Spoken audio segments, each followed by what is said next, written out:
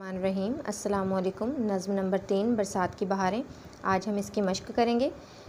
शायर ने नज़म बरसात की बहारें में बरसात के जो मनाजर बयान किए हैं, उनका ख़ुलासा अपने अल्फाज में लिखें। जैसा कि आपने पहले दो नज़मों का ख़ुलासा लिखा है, इसी तरह इस नज़म का भी ख़ुलासा लिखिएगा जो कि दस सतूर पर मुश्तमिल हो। सवाल नंबर तीन है, कुदरत के बिछ रहे हैं, हर जा हरे बिछोने, से शायर की क्या मुराद है? इससे मुराद ये है कि बारिश के बायस हर जगह हरियाली ही हरियाली दिखाई देती है। ऐसा मालूम होता है कि कुदरत ने सब्ज़े के बिछोने यानी कि बिस्तर बिछा दिए हों। सवाल नंबर चार है, एराब की मदद से तलफ़ वाजे करें। पहला लफ्ज़ है बरसात। बे के ऊपर ज़बर है, रे साकिन है। सीन के ऊपर ज़बर है तेज़ साकिन है। लहलाहट लाम के नीचे ज़ेर है, हे साकिन है। फिर लाम के ऊपर ज़बर है, फिर हे के ऊपर ज़बर है, फिर अलिफ साकिन है, हे के ऊपर ज़बर है और टे के, टे साकिन है। टे के ऊपर सुकून की अलामत है। गुलजार, गाफ के ऊपर पेश, लाम साकिन, जे के ऊपर ज़बर, अलिफ और रे साकिन। अलिफ के ऊपर ज़बर और रे साकिन। सुबहान, सीन के ऊपर पेश, बे साकिन, हे के ऊपर ज़बर और नून साकिन। झमझमाहट, झे के ऊपर ज़बर, मीम साकिन। फिर झे के ऊपर ज़बर फिर मेम के ऊपर ज़बर, हे के ऊपर ज़बर और टे साकिन, झमझमाहट।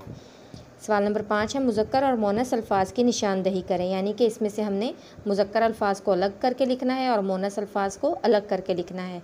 हवा हवा मोनस है, बादल मुजक्कर है, बहार मोनस, बरसात मोनस, सब्ज़ा मुजक्कर, कुदरत मोनस, गुलजार मुजक्कर, रंग मुजक्कर तितर मुजक्कर घटा मोनस।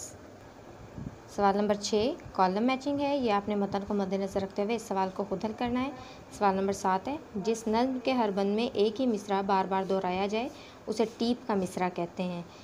इस नज़म में टीप के मिसरे की निशानदही करें। अब ऐसा मिसरा जो इस नज़म में बार बार दोहराया गया है हर बंद के आखिर में था वो क्या मिसरा है? आ, क्या क्या मची हैं यारो बरसात की बहारें।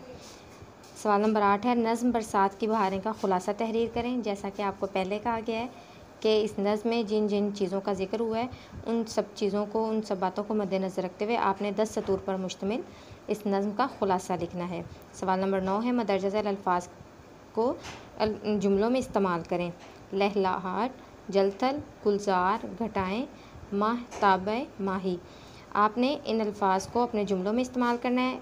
आपने इस पूरी मश्क को याद करना है और सवाल नंबर नौ आपने कॉपी पर खुशखत लिखना है।